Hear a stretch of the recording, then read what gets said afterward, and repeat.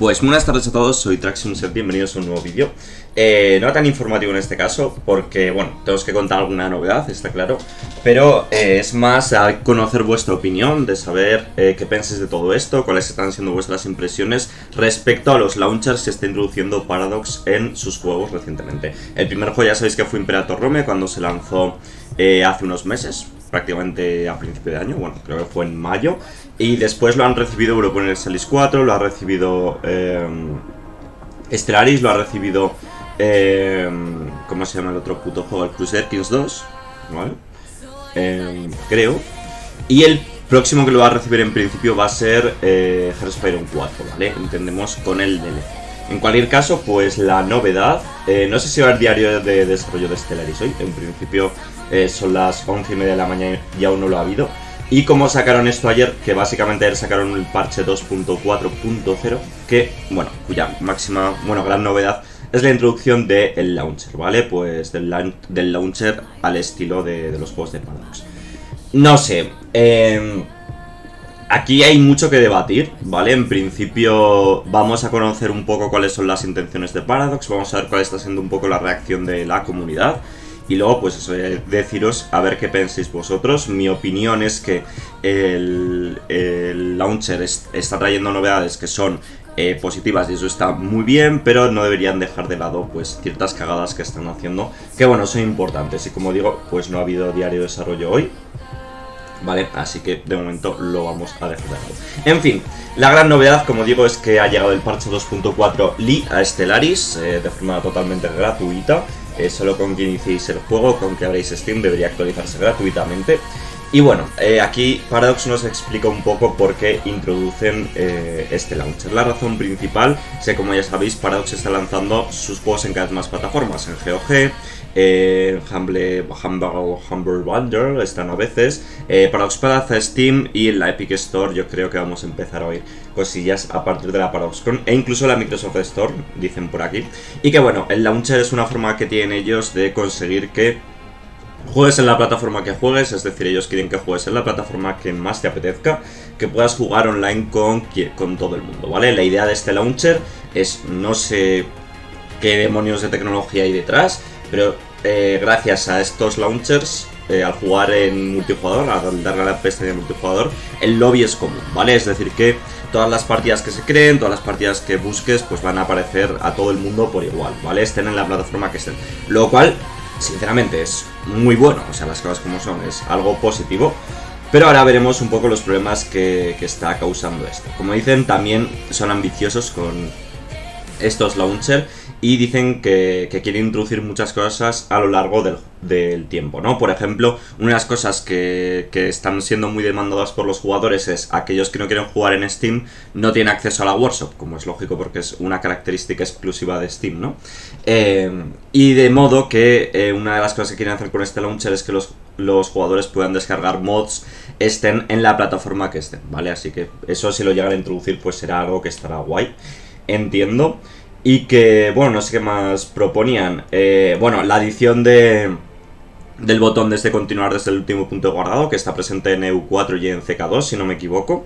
Y no está presente en el resto de juegos, así que, no sé, es un poco extraño porque parece que saben hacer eso, pero, pero no lo meten. Y es algo que está siendo muy demandado por, eh, por los jugadores porque dicen, coño, eh, lo tenéis en otros juegos que os impide ponerlo aquí. Y no es como típica característica que que digas, ostras, el EU4 mejoraría con las tácticas o con lo de la comida de Imperator, deberían meter cosas de Imperator a EU4. Bueno, pues es una posibilidad, pero yo creo que a nivel de, diseño de juego, pues yo que sé, que metan el, launcher con las características mínimas sería lo suyo, ¿no? Y como digo, pues esto está disponible ya para todo el mundo, eh, si lo queréis probar. Han aprovechado para introducir varias correcciones de bugs que estaban trabajando de cara a la siguiente expansión. Y aquí nos dicen que efectivamente el 19 de octubre será revelada. ParadoxCon, ya sabéis chicos, seguidme en Twitch. Y el 19 de octubre, este sábado, no, el sábado que viene, hay que estar todo el mundo por la mañana en Twitch, despiertos y pendientes de los anuncios, ¿vale? Y como digo, esto ha sido lo que han anunciado, pero eh, parece que estos launchers vienen con un mega problema que no consiguen eh, o no están solucionando, no lo consiguen o no se sabe qué está pasando. Y es que el tema de los mods está bastante jodido, ¿vale? está jodido porque, si no me equivoco, no puedes hacer scroll con el, con el ratón. Es decir, que si tienes bastantes mods instalados, que es normal porque eh, ya sabéis que muchos mods están muy currados y aparte hacen submods en plan de música, de eh, currarse alguna región, lo que sea, ¿no? Kaiser Rage, por ejemplo, es clásico ejemplo de un, de un mod que tiene como cuatro submods y cuando quieres jugar, ¿vale? Que obviamente no son eh, obligatorio ponerlos, pero ese no es el tema, ¿no? Que básicamente tú tienes varios mods instalados, este launcher, en todos los juegos en los que está, no te deja hacer scroll y no te deja poder ver todos los mods, ¿vale? Eh, es cierto que tiene novedades como la inclusión de un botón de activar y desactivar todos los mods, pero eh, una de las cosas que se está pidiendo también es que tú puedas elegir, eh, como que puedas hacer presets de mods, ¿no? En plan, tú creas una configuración y dices, en esta configuración yo, creo que yo quiero que me entre el Kaiser Rage, el mod de música del Señor de los Anillos y las pantallas de carga bonitas y la interfaz del Imperio Bizantino, una interfaz morada. Y eso quiero que sea mi preset 1, ¿vale? Y yo hacer un preset 2 en el que esté el, mod de The Witcher Kings y la banda sonora del Stellaris, ¿vale? Y eso sería tu preset 2. Y que con un par de clics tú cambiases entre la preset 1 y la preset 2 y ya tuvieses tus mods preparados. Pues eso tampoco lo han introducido y es algo que los jugadores están pidiendo. También el mod, eh, esto no avisa, y esto es una pérdida respecto a los lanzadores anteriores, y es que no te avisa de si un mod está desactualizado por la versión del juego. No te pone el típico... Eh, una bolita roja con una exclamación que salía que te decía, oye, que esto está desactualizado, eh, puede que haya algún problema si juegas con ello. Pues el launcher no te avisa, ¿vale? Y bueno, pues eso, que, básicamente lo que jode este launcher eh, es un poco el tema de los mods, ¿no? Y dado que la gente juega mogollón con mods porque eh, bien porque desarrollan fantasías que, no están presentes de base en los juegos, obviamente, con eh, mods que hacen overhauls, mods que corrigen la interfaz, que son muy bienvenidos en juegos como el Europa o el propio Imperator, eh, mods de música, lo que sea, ¿no? Hay una cantidad infinita de... Bueno, infinita no, pero hay una cantidad muy grande de mods y es normal que los jugadores quieran jugar con ellos, ¿no? Y lo que no puedes hacer, obviamente, es ponerles trabas. Y Paradox tiene que corregir esto ya. Y dado que es algo que que no afecta, digamos, sobre el fondo del juego, ¿vale? Que es algo que es el launcher, pues, coño, eh, tendrían que haber tenido un poco más de cuidado, ¿no?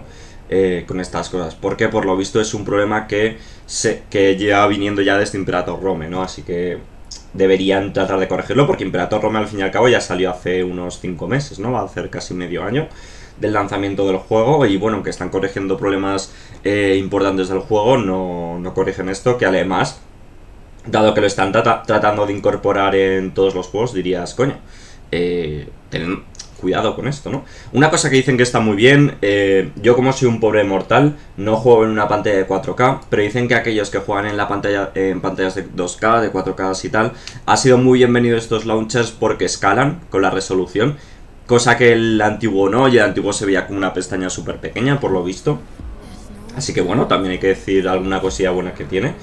Y que, jolín, que por cierto, lo del multijugador que mencionaba al principio no está eh, incluido todavía. O sea, la idea es que eso, tú juegues desde la plataforma que juegues, tengas acceso al mismo multijugador para todo el mundo.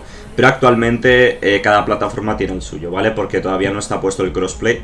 Pero la idea es que con estos launchers lo van a poder poner. Pero vamos, que yo más allá de introducir el crossplay porque, o sea, es algo que me parece, insisto, muy interesante, vale y que si lo consiguen hacer de lujo, eh, lo que tendrían que haber tratado de conseguir mínimamente es que estos launchers no supongan un paso atrás respecto a los que teníamos antes. Entonces, si lo que están haciendo es dar un montón de problemas a la gente que juega con mods, que insisto, son una gran mayoría, ¿vale? Eh, o, un amplio porcentaje de población, tú lo que tendrías que haber tenido cuidado 100% es de esto, ¿no? Que lo del crossplay está genial, que lo del 4K está genial, que lo de que van a añadir más características en el futuro está muy bien, pero eso, que pienso que tendrían que haber tenido cuidado con estas cosas. Así que eh, deciros, ¿vale? Que eh, este parche aparte es interesante obviamente por las correcciones de bugs y tal, pero que si, os, si jugáis con mods y os está dando tantos problemas, lo que tenéis que hacer es permanecer en la versión anterior, que es la 1.3.3 si no me equivoco, y así un poquito con el resto de juegos, ¿vale? Eh, con EU4 quizá tenía un poco más de sentido, Creo que, lo he dicho mal antes, creo que Crusader Kings 2 no tiene el nuevo launcher. Creo que el último parche lo actualizó a 64 bits, pero no tiene el nuevo launcher. Creo que este es el tercer juego que lo, consigue. Eh, y lo que digo, ¿vale? Eh, hay muchas correcciones de bugs y tal, pero que aquí tranquilamente os podéis quedar en la versión anterior. En EU4 quizás es un poco más jodido porque EU4 aparte metió un parche de contenido muy chulo en Asia, ya lo sabéis, el parche Manchu y, un montón de novedades gratuitas y tal, pero en el caso de Stellaris pues siendo que son correcciones de bugs y tal, que insisto, igual, es, igual alguna es súper importante, ¿vale? Pero que eh, en ese sentido, si os queréis quedar en la versión anterior, pues yo creo que no va a pasar nada.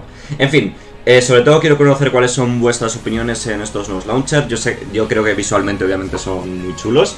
Eh, también podríamos pensar que quizá, pienso, eh, que quizá deberían hacer un poco como Total War y que tú lo que lances fuese un launcher común de Paradox y ahí ya tuvieses todos tus juegos. Eso sería algo chulo, porque yo creo que la gente que eh, tiene un juego de Paradox, suele tener otro. O sea, vale, hay gente que juega Stellaris pero no juega Hearts of Iron, pero suele jugar a EU4 o a CK2, ¿sabéis? Alguien que... O sea, está claro que hay gente que solo juega a Stellaris o gente que solo juega a Hearts of Iron 4, pero mucha gente tiene, tiene eso en común, ¿no? De hecho, antes sacaban muchos DLCs conjuntos, ¿no? En plan de, mira, te compras el de Stellaris y el de EU4 a la vez y te tienes un 10% de descuento.